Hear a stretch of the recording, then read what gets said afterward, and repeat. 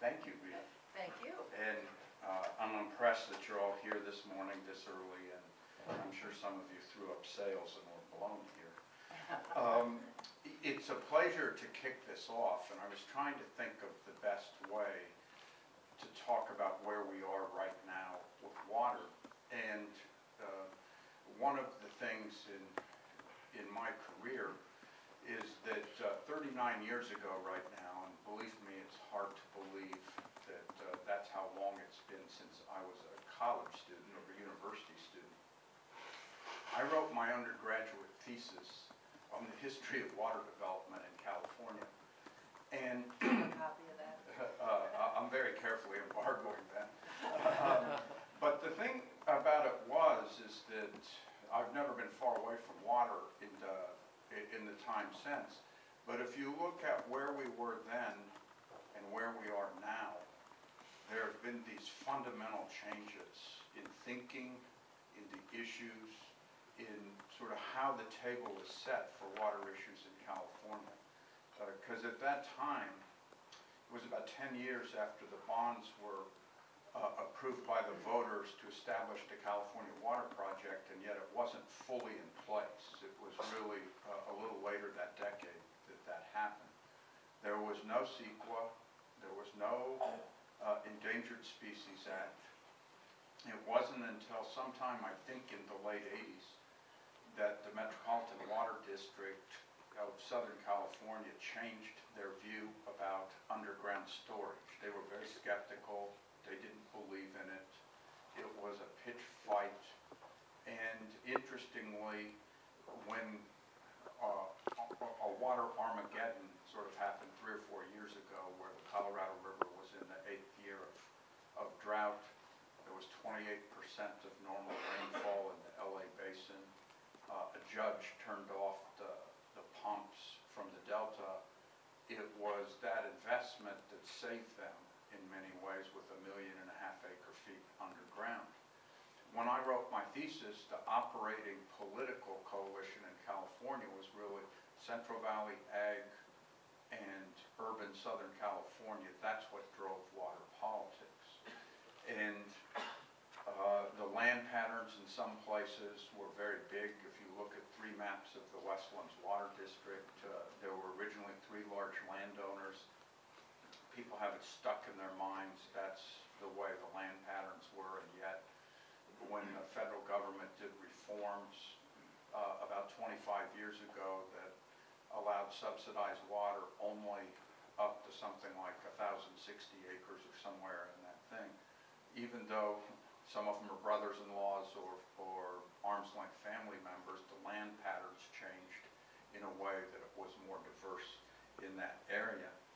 And in conservation, which, which Rita mentioned, even when I first got to the state legislature, conservation was viewed by many people in the water world is the excuse some people had for not supporting dams.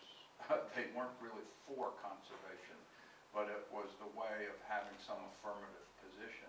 And that has fundamentally changed. And, and you look at the city of Los Angeles, uh, which has grown by a million people in the last generation, all on the same amount of water. So that they have had their fundamental shift where uh, conservation and efficiency is what has allowed for their growth in the last few decades. And that's true in the broader Southern California region. So all those things have changed. The political coalition that governed has realigned in, in some different ways.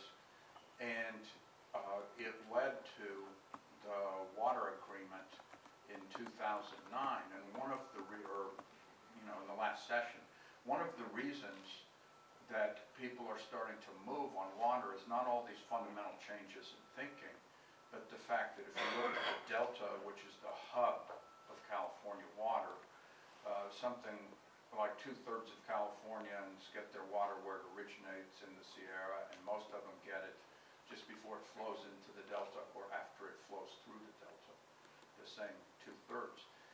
And the status quo is finally to the point that it is an unacceptable project alternative.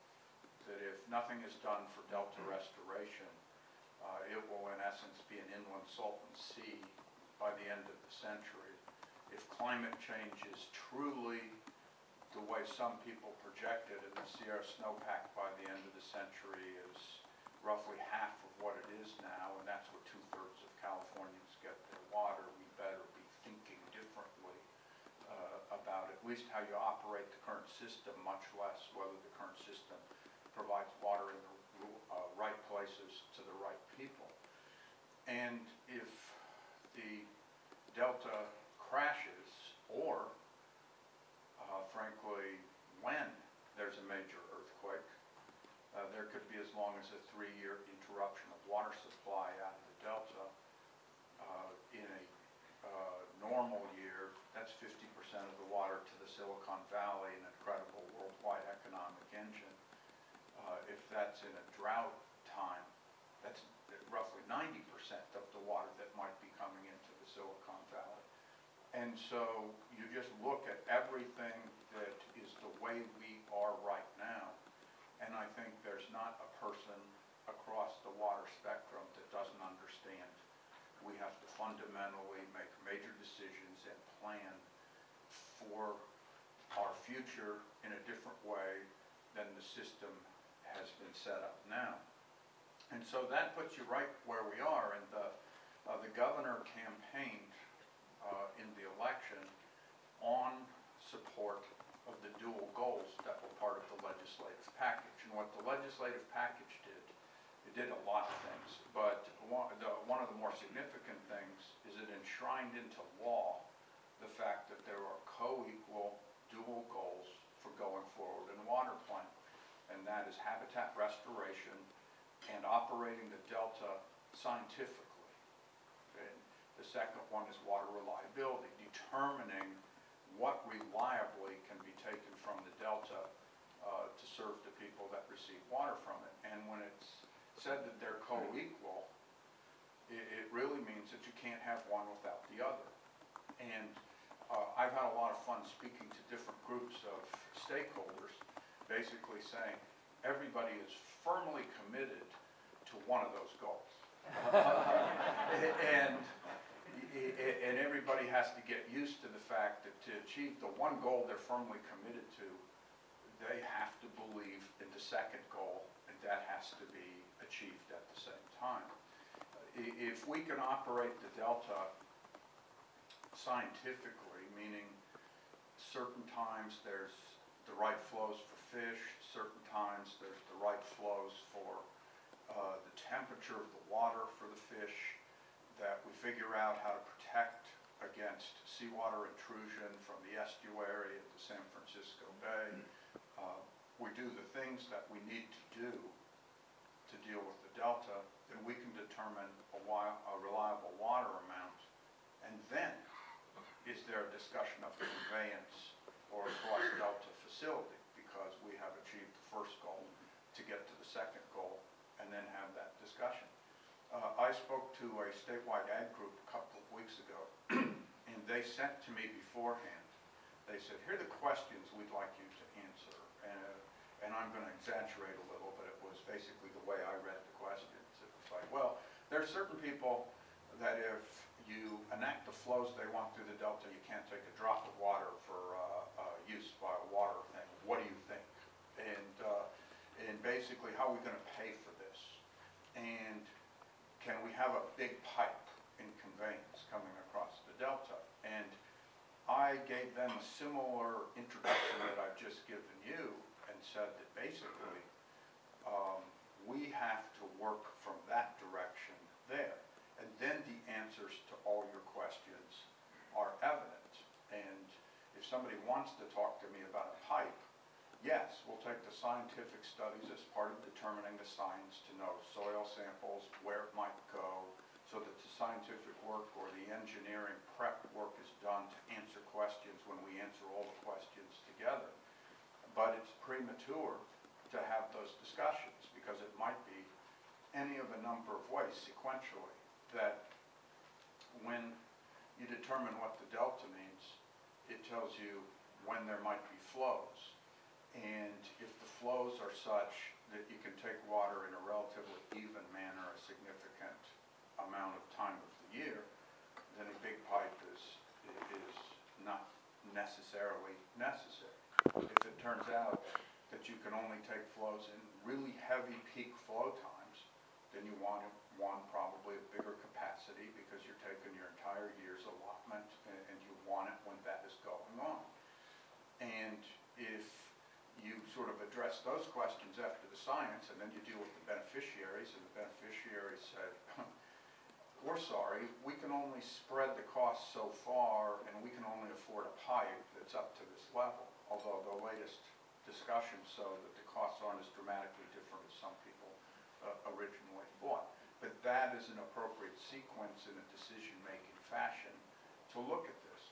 And if you look at the Schwarzenegger administration and sort of what they did to bring things to this point, uh, they were moving at a high rate of speed uh, with the Delta, uh, Bay Delta Conservation Plan, and they were moving at the high rate of speed because they had a deadline of December 31st of last year, and it was, they were gone after that. And they were determined to do everything they could and maybe get somewhere by that deadline, and as a result, the deadlines became more important than the product. And while they've come up with some good products, they were really under that deadline. And now it's upon us, as the new Brown administration, to basically say, we want the best possible product, even though we won't want to slip deadlines, but we have to bring people along. And the initial sort of process for doing that plan involved the biggest contractors, water contractors in the contract role. And they've stepped up in a good way. They have put the money up for the process, uh, they've participated in the governance. But however we come out of this, we're gonna have to have the broadest possible support. If something is required to go to the voters, we're gonna have to have as many interest groups bought into this as possible to be able to take it and pass it. And so our strategy is to involve as many people as possible in key parts of this to be able to try to develop that constituency. So even though the administration hasn't moved incredibly rapidly on some of the appointments to departments and uh, uh, positions during the transition, uh, I was in place the first day, and I put in place the deputy director for water resources the first week. And it's Jerry Meral, who was deputy director of water in the first Brown administration, former head of the Planning and Conservation League. He's gonna move ahead on the Bay Delta process. And between him and I, my assistant was trying to count it last week. I think we've had at least 300 meetings between the two of us on water since January 5th. And we have really tried to work our way through major stakeholders.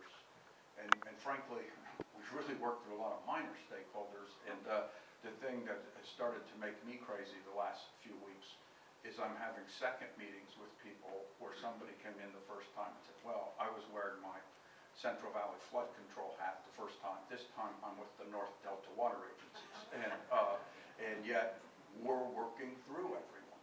Uh, uh, because we want them to know that we're on top of this, we're trying to make transition seamless, and we feel like, uh, we have one of those unique windows in California history, uh, to be able to make major progress on water. And as somebody that's been a student of it for at least roughly forty years, I always thought the only time you could really make a tough water decision for the future was in the second term of a two-term governor. Uh, They're not going to run for reelection. Uh, Their legacy is in the balance, not their next election. Uh, They'd be prepared to make tough decisions, and so I was a little nervous about the fact that while progress was made with the water deal in the legislature, Governor Schwarzenegger left without a deal on the Delta and and sort of the future. And this governor uh, is determined, you know, he may well run for a second term, and at his inauguration, he introduced a 99-year-old aunt to make sure everybody knew.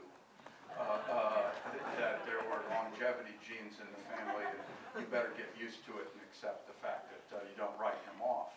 But at the same time, I think he's acting on a lot of things, where it's trying to upright the budget in five months, uh, or whether it's trying to deal with water, as if we've got four years to do it. And so, we are determined uh, to move ahead. And I think the interesting thing